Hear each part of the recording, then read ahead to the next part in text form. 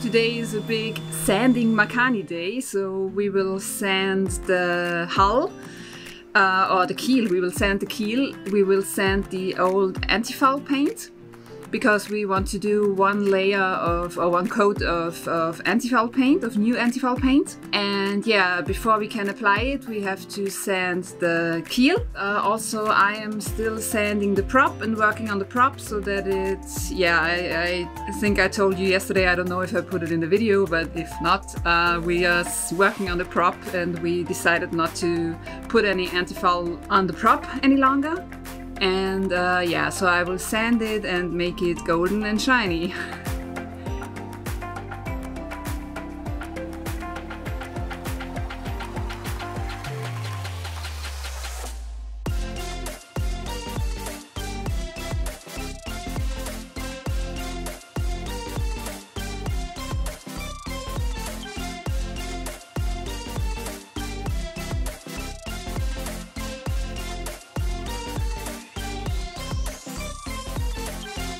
After sanding the keel and removing the blue paint above the waterline, it was finally time to apply the new anti-fouling paint.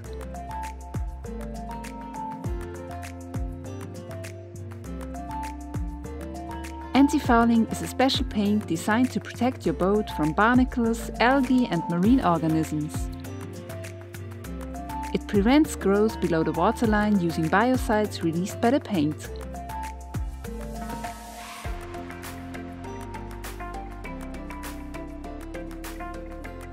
We are using a self-polishing anti-foul that has never failed, caused any problems or reasons for concern. We are extremely happy with this product because it is easy to use, it looks great and it also dries super quickly.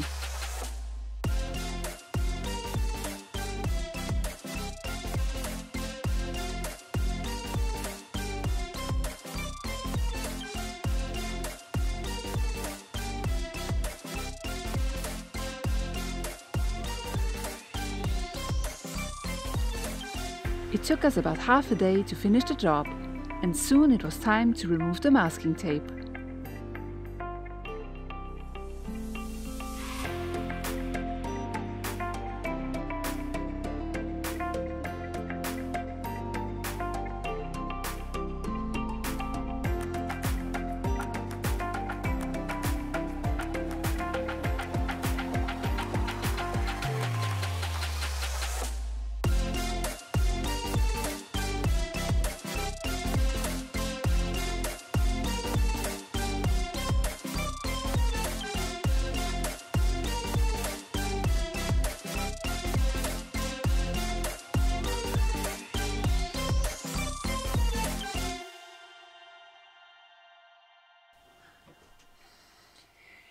So the main reason we went into the boatyard in the first place was to finish the installation of the instruments and then later to apply the anti-fouling paint, to apply a new coat of anti-fouling paint. But then um, we decided to do another project, kind of a special project or a project that we have been dreaming and thinking and planning uh, thinking about and planning for a long time.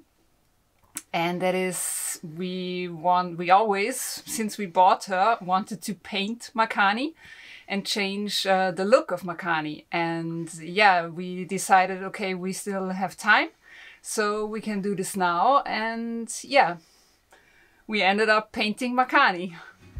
Yeah, so if you remember, we have um, three blue stripes on the hull, one just below the toe rail, um, a second one in the cove line, and the third blue stripe is um, the water line. And we always wanted to get rid of the blue and have a white hull. For the water line, we, we sanded the blue color of the hull and raised the water line. So we raised the anti-fouling over the, the sanded part. Um, so that took care of one of the three blue stripes. And the, the other two, we thought maybe we can scrape them off or sand them off or use some, some chemicals to peel the color of the hull. And that didn't work. And, and also um, our gel coat was in a really bad condition. I, I, I don't know the specific reason for for all the the tiny cracks, but as far as I was told, it's due to contracting and expanding of the gel coat in the heat. And I initially tried to, or I thought about polishing the, the gel coat and trying to get rid of those uh, cracks, but there, there was no way. So we made the decision to paint the hull. Yeah. So uh, basically we started with an undercoat. So we ordered the paint, we started with the undercoat, and it is a, what is it, a two component paint? Yes, it's two component paint, so it's the polyurethane uh, paint with the paint component and the hardener component and to prepare the gel coat for the first coat of undercoat, coat, coat, coat, um, we sanded the gel coat then we applied the undercoat and, and sanded it back almost. Oh, but before that, you also um, repaired the bigger cracks with this True, filler. Yeah. There were, were some some some minor damages in the gel coat, and I bought some polyester filler to repair those few spots. Nothing, nothing mm. serious. Then, then you sanded exactly. it. Exactly. Sand, then sanding, then painting the the first um, layer of undercoat, and I sanded it down um, almost to the gel coat again, and uh, the undercoat had the effect of filling all those tiny cracks. With the second undercoat, the, yeah, originally, the, we, we only wanted to do one undercoat and two top yeah. coats, but then we met Blake Blake uh, actually bought our old wind instruments and then he came by the boat and he asked Max what he was doing and asked him, Oh, you are painting the boat. Um, I have painted boats before. I can help you if you want, which was really great. So, Blake, if you're watching this, thanks, man. That was really great. Yeah. Um, and yes, so he he basically showed us how to roll and tip, how to use the technique we ended up using. So originally we wanted to do one undercoat and two top coats, but Blake then suggested that we should do another undercoat just to make sure that none of the blue paint will show again because when Max started to um, to sand the first undercoat that we did the blue was already coming yeah. was visible again a little bit. So uh, Blake suggested to do another undercoat to get rid of that problem and also to really fill up all those tiny cracks. And yeah, it's the after the second undercoat, the hull was in a really good. Um, it was a really good starting point for the top coat. Again, we used the two component uh, paint from International, the Perfection line. How, how we how we did it, uh, how we painted the boat. Kathi was in the front with the roller, uh, and we used a foam roller.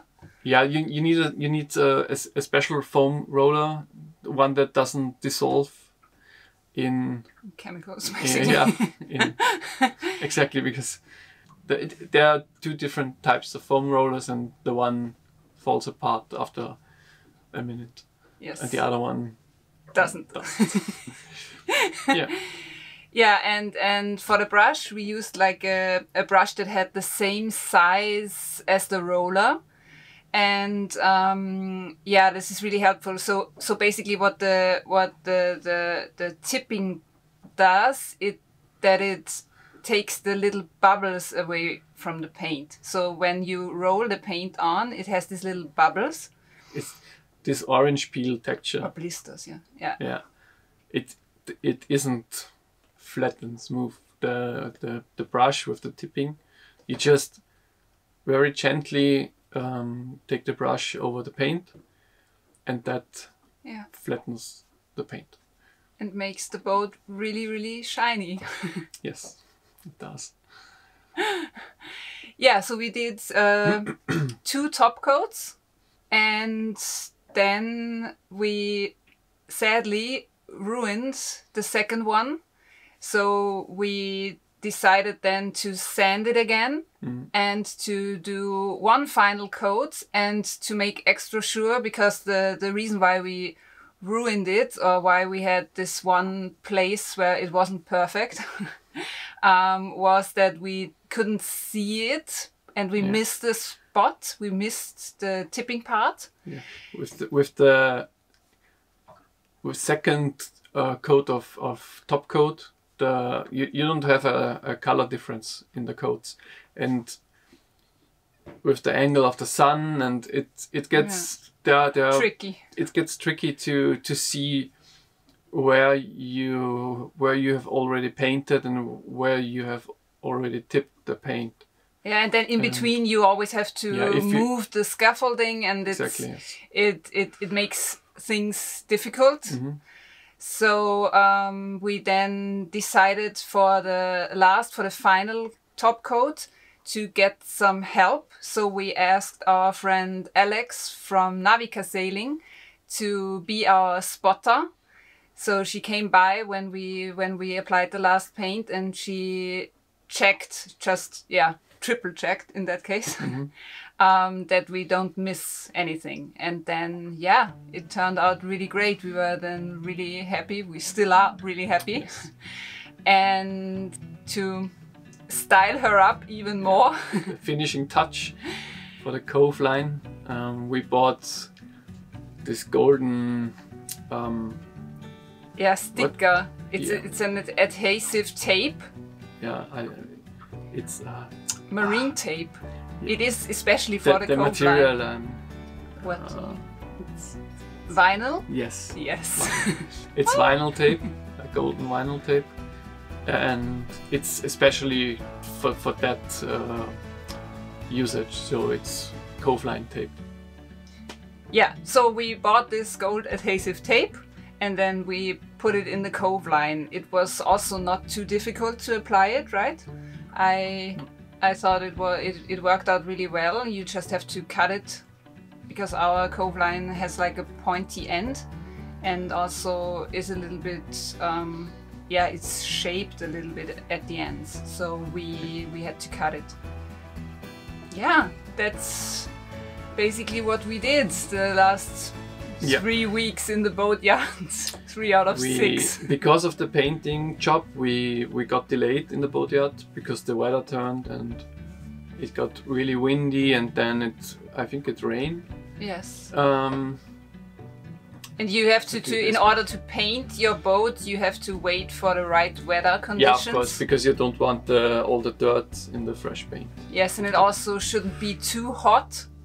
And it took us in the beginning uh, one one coat of paint took us around four hours Both sides, and yeah, the, the, the whole the whole boat. the whole yeah. boat and the last coat which was the fifth coat um, He it yes. took us a bit over two hours so Yes. you get You get the hang of it. you get the experience and you become faster. Yes. And I really liked it. I think it was one of the coolest projects we have ever done to the boat. with the biggest visual impact uh, Yes. absolutely yes so we are really happy. We would love your feedback and uh, would we we yeah so leave in the comments what you think of our choice and how you you like Makani 2.0 like we call her now. For those of you who want to know, um, we asked for a quote to spray paint or to, to get the boat spray painted by the boat yard. Uh, they quoted us 5,000 euros.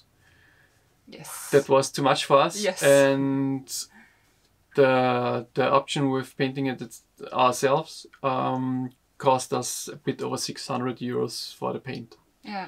So that's what you have to calculate with, Yes. I think. Yeah. If you want to do this. So um, yeah, let us know in the comments um, if you have done something like that yourself, and If we did it wrong. if, if you saw something we should have done differently, yeah, or Or if you have any questions, we can yeah, answer them for you. maybe we have some tips for you. Who knows? Um, Yes. let us know, and Yeah, thanks for watching. Thanks for watching, and a big thank you to our patrons. Um, we who actually kept this project quiet for quite a while now. Um, yeah, special thanks to Mark, our patron. Uh, thanks for all the advice and for cheering us on during this project. And yes, see you again in the next video. Yeah, thank you. Thank you. Bye. Bye.